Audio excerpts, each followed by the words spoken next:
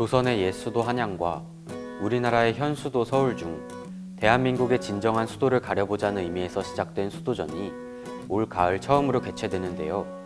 첫 번째 수도전을 앞두고 학우분들의 궁금증을 해결해 보고자 오늘 한양인사이드에서는 수도전 한양대 기획단장님을 모셔봤습니다. 한양인이 존경하는 한양인을 만나보는 시간. 한양인사이드 수도전 특집 지금 시작합니다. 안녕하세요.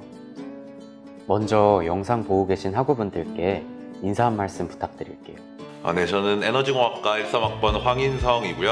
이번 수도전에서 한양대 기획단장 맡고 있습니다. 네, 안녕하세요.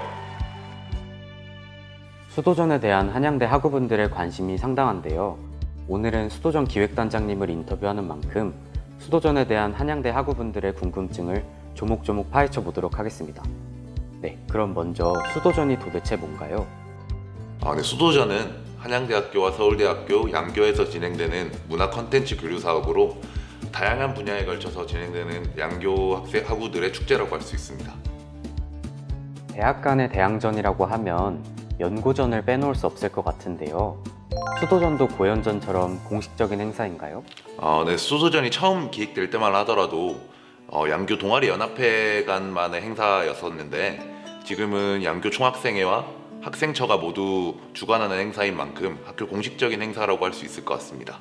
네, 그러면 수도전은 앞으로 정기적으로 열리게 되나요? 어, 아직 2회, 3회에 대한 구체적인 계획은 없지만 저희가 처음 수도전을 기획할 때부터 어, 지속 가능성이라는 부분에 대해서 염두에 두고 기획을 시작했기 때문에 2회, 3회가 열릴 수 있도록 정기적으로 열릴 수 있도록 저희는 노력할 예정입니다.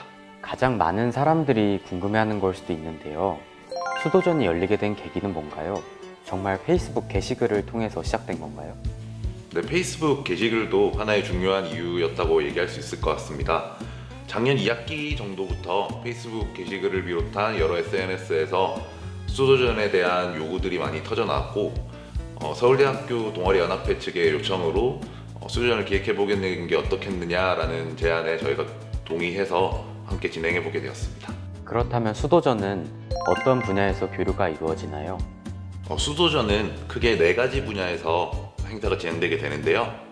공연, 경기, 학술, 전시 이벤트 이렇게 나눌 수 있겠습니다. 공연 분야는 댄스, 힙합, 밴드. 경기는 축구, 농구, 배구, 그리고 e스포츠로 구성되어 있습니다. 또 학술 분야는 연사 초청 강연과 학술 컨퍼런스, 방탈출 체험 부스로 이루어져 있고 전시 이벤트 분야에서는 동아리 전시와 참여형 이벤트 부스가 진행될 예정입니다. 정말 다양한 분야에서 교류가 이루어지고 있네요. 그렇다면 이러한 교류들은 어느 학교에서 열리게 되나요? 어, 이번 제1회 수도전은 한양대가 홈으로 진행되게 됩니다. 어, 그렇기 때문에 축구 경기나 어, 연사 초청 강연 등 조금의 행사를 제외하고는 전부 다 한양대학교에서 진행된다고 생각하시면 됩니다. 개인적인 질문이긴 한데요. 혹시 공연할 때 연예인도 오나요? 어, 수도전이 어, 2학기 축제인 애한제의 메인 컨텐츠이고 함께 진행되는 만큼 어, 평소에 애한제 때 연예인 섭외했던 것처럼 올해도 어, 섭외를 할 예정인데 어, 라인업은 아직 미정입니다. 듣다 보니 수도전의 구체적인 일정에 관해서도 학우분들이 궁금해하실 것 같은데요. 설명 부탁드립니다. 어, 수도전의 전체적인 일정은 10월 10, 11, 12, 수목금 3일 동안 진행되고요.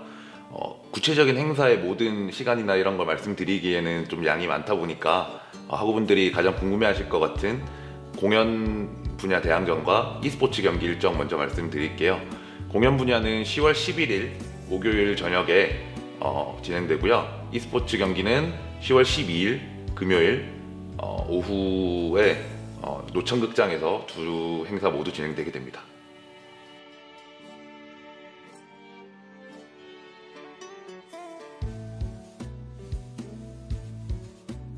마지막으로 수도전을 기다리시는 학우분들께 카메라 한번 보시고 한 말씀 부탁드립니다. 어, 첫 번째 수도전이 드디어 열리게 됩니다. 학우분들의 관심만이 수도전의 성공과 제2회, 3회 수도전을 만들 수 있습니다. 어, 저희는 최선을 다해서 좋은 축제 만들 수 있도록 노력할 테니까 학우분들 많은 관심 가져주시기 바랍니다. 네, 감사합니다. 이상으로 인터뷰 마치도록 하겠습니다. 오늘 나와주셔서 감사합니다.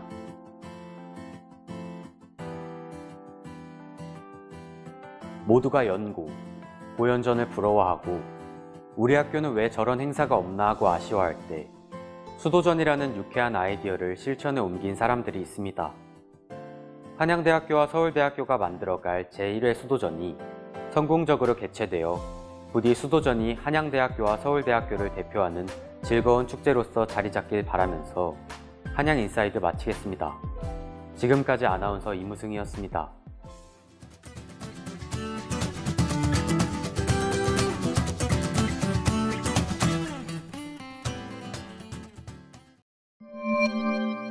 HUBS